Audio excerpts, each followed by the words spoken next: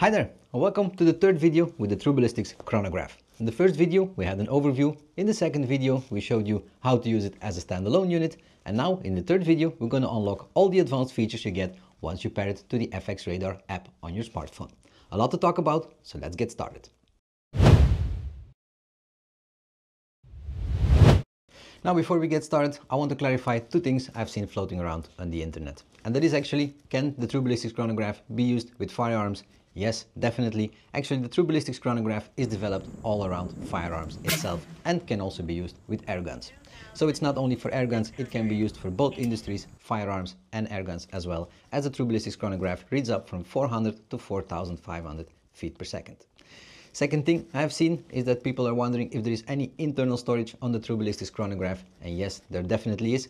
Uh, but you need to install the latest firmware on your True Ballistics chronograph to utilize the internal memory. So you can store up to 150 shots on the internal memory of the True Ballistics chronograph that you have gathered as a standalone unit in the field or out at the range. Afterwards, when you come back home, you can easily offload it onto the app on your smartphone and start using the interesting features the True Ballistics chronograph has to offer. Speaking of the app, to connect to the True Ballistics chronograph, you need to download the FX Radar app. The FX Radar app is available for iOS and Android devices from the Apple Store or from the Google Play Store. Now one thing must be said is that the Android version of the app is running just a little bit behind on the iOS version, but we're doing our best to catch up. So it might be that you see some of the features I'm showing on the iOS device not showing up on your Android device, but they will be there very shortly. So once you downloaded the app, it's very simple. Open up the app and once the app is open and your chronograph is on, it straightly connects to the app itself and you can get started. On your primary screen is the one you see right here on the top. You have your feet per second or your muzzle velocity. Right below it you have statistics and the, on the statistics you can exactly see the same thing like on the third page you have on the True Ballistics chronograph itself. You see your last five shots and at the bottom some information as well. Now all the information you see on that primary screen can be customized in the settings. Uh, you can uh, add some more, you can take some out if you would like to have just a very basic uh, primary screen or one with a little bit more information as well. That's your primary screen. Looking at the bottom of the screen, you can see that there are five different pages. Let's walk through them before setting up a custom profile. Pressing on shot string brings us to the second page where you can see your recorded shot string with some extra information, your BC value, the ballistic data, but more in depth on this powerful section when we went through the complete application menu. And some other very interesting information at the bottom, like your vertical spread at the range you fill in. This is a theoretical calculation based on the shot string recorded.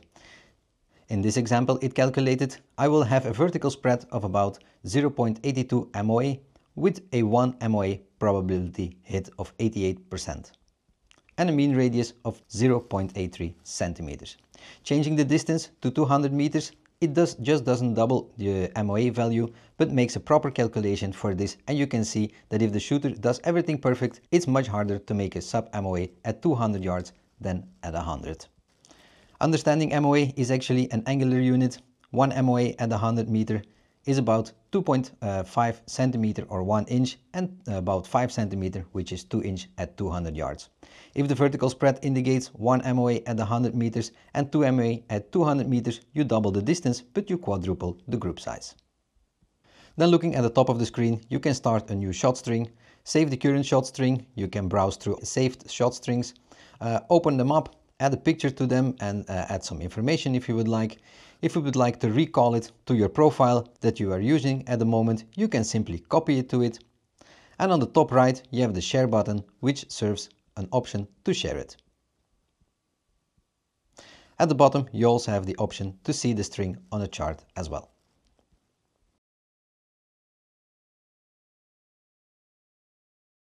Then moving on to the third page, this is where you can create some custom profiles for each of your rifles you own. Let's start at the bottom, creating a new profile. Simply press View Profiles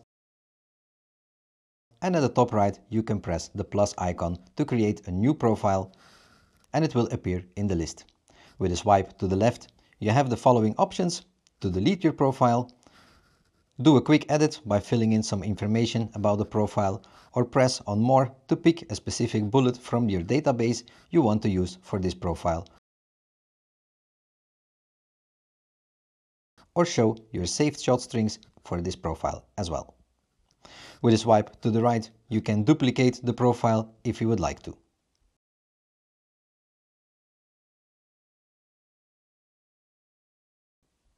In the middle at the top, you have the button All Sessions.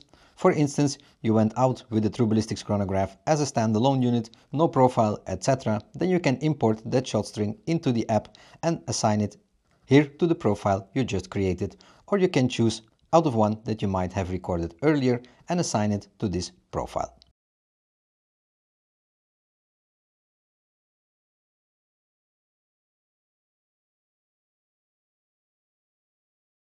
With a simple press on the profile, you select the profile. Once selected, you can tap the middle and add a picture for your profile. We all like to have some nice profiles with pictures for it. For easy and quick reference, of course. And the same applies for the bullet you're using, which you can also add a custom picture for it. In the top left, you can edit your profile. General, there you can fill in some general information of your profile, like the name and the magazine capacity. Under projectile is the section where you fill in the weight of your projectile, the caliber and make of the bullet that you're using for that profile. Or you can choose one of the library and save a new bullet you just filled in. Scope option is a very important one and only shows up when the True Ballistics chronograph is selected. If there is no True Ballistics chronograph connected, you can choose it manually on page number 4, but more on that in just a second. But here you fill in your scope height that is needed for the initial calculation. Here you also choose the click value of your scope and the set distance increments you want to be displayed in your ballistic chart. With the press on close, you back out of the menu and we can move on to profile sessions. Profile sessions is the place where all your sessions get recorded and stored and for quick access if you want to recall them to your profile. Profile strings is the place with strings recorded for this profile that you can switch to. Look at the charts, name it or share it as well. The third option from the top brings you to your bullet library and here you can also switch to different bullets for your profile if you want. You can create new ones by the plus icon at the top. Give it custom pictures and information if you would like to. By pressing on close we go back to the profiles tab and on the top right corner you see dope this is the place for all your dope charts you have created for this profile in the ballistics tab on page number 2. But we'll have a look at that in just a bit how to create them. This is super useful when preparing for a match and no need to start calculating in different apps to get your solution as a true ballistics chronograph does it all for you. Let's move on to page number 4 at the bottom of the screen with pressing on the fourth icon App Settings. Here you will find some uh, general settings like device, units, audio, calibration and options. Under device you can select the different chronographs if you want to use the app without the chronograph being connected or if you want to switch between devices. Now remember that the scope height could only be set when uh, the app was connected to the True Ballistics chronograph. If you don't have the True Ballistics chronograph uh, mounted or connected to the app, this is where you can assign it to it. Units is where you can set your preferred metrics like feet per second, foot pounds, grams or grains, yards or meters, Fahrenheit or Celsius. Tapping on the audio, it allows you to turn on the voice for the primary and secondary readings on or off, as well as the empty magazine warning. Then we still have the calibration one, is a setting that can be set to a max plus or minus 2%, but this is an option not to be used as the chronographs are calibrated from factory. Some users may want to use it to match the results with some of their other chronographs to keep the readings consistent. Under options, it allows you to turn the weather information on, autosave shot strings, or customize what you can see on the primary screen as I have mentioned in the beginning of the video. On the primary screen, you can put the statistics on or off, last shot string, uh, information and the, those kind of things. That's up to the user to decide what he wants to have displayed there and then by pressing more at the bottom of the app, which is the last icon in the row and the last page, that brings us to some uh, shortcuts to manuals for the different chronographs and a link to the update page for the True Ballistics chronograph as well. Now, that was a brief run through of the five pages you have at the bottom of the screen of the FX Radar app, but let's jump in back into the ShotString uh, tab, which is the second one at the bottom right here. And now let's see what kind of ballistic functionality we can have once you have recorded a shot string with the True Ballistics chronograph. So when a shot string is recorded with the True Ballistics chronograph, you can see this button right here, Ballistics. Tap on it and it gives you a list with all your click values, holdover points, remaining velocity and so on. With the set distance increments you have entered under the profile scope options on page number 3 and your sighting range which can be changed by pressing on the ReZero button and fill in your zero range. And if you change that, you can see that the list getting updated according to the value you have set. Right below it you have scope angle and that is a very interesting one that other chronographs on the market don't use and is a way more interesting one to use. The scope angle gets generated and calculated by entering your zero range. Once the angle is calculated, the True Ballistics chronograph can use this to calculate a bunch of interesting things. The True Ballistics chronograph gives the bullet trajectory and based on the sight-in range it calculates the scope angle. So once you have established the zero range that you exactly want for yourself, in our example right here it will be 50 meters, adjust your turret to zero by lifting up the turret and resetting it to zero. At this point, the zero of our scope translates to the angle our scope is pointing at, and by changing the turret at this point, you basically adjust the angle of the scope itself. Alright, so scope angle, let me show you a quick example how it works and how the scope angle and your zero range actually go hand in hand. For instance, looking at the top of our screen, you can see our original sighting range at 50 meters with the corresponding scope angle of 4.71 MRADs. Looking at our list, for instance, let's take 75 meters which is 21 clicks or 2.06 MRAD. Press on ReZero, go to scope or zero angle, sorry, and instead of 4.71, we're gonna uh, add the 2.06, so we come to 6.77. Press OK, and now you can see that the list straightly got updated and 75 meters is our new zero. Pressing back on ReZero and now we're gonna fill in at the zero range again 50 meters, press OK and you can see that our uh, uh, zero range went back to 50 meters and our corresponding scope angle went back to 4.71 MRADs. So now that we exactly know in which direction our scope is pointing at or at which angle our scope is pointing at, we can do a lot of interesting stuff. For instance, when you swap out to a different bullet, a lighter one, a heavier one, a faster one, a slower one, it doesn't really matter. Naturally, your original zero uh, range won't be any effective anymore as your impact will be higher or lower. Thanks to the uh, scope angle that we're using on the True Ballistics chronograph, the True Ballistics chronograph can exactly figure out where your next shot will be landing and therefore can give you an updated list with adjustments you have to make on your scope so your new bullet will impact exactly on your original zero range. Very cool, right? I know. It can be a lot to take in. For a lot of you, it might be very new. For some of you, it might be um, common sense.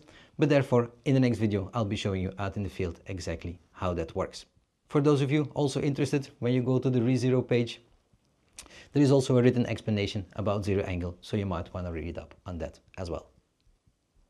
Returning to our original ballistics page that we have right here, when you press on ballistics, at the top corner you see dope plus, and when you press on that one, you can create dope charts, which is a very interesting one for people participating in uh, PRS matches.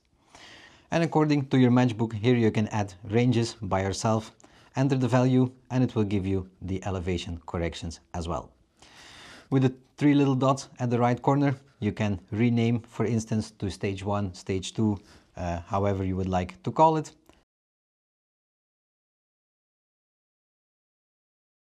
and here you can also share it if you have to. With the press on edit you can add or remove ranges from your dope chart and therefore you can create exactly the one you need.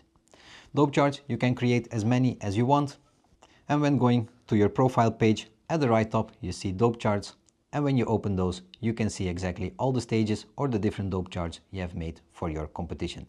Very handy, very practical uh, when you're preparing for a PRS match. Alright guys, that was a lot, but that completes the complete FX Radar app in combination with the True Ballistics chronograph unleashing its full potential. No matter you're shooting airguns or firearms, the True Ballistics chronograph gives you so much detailed information you can hit your targets a lot faster and a lot easier than ever before.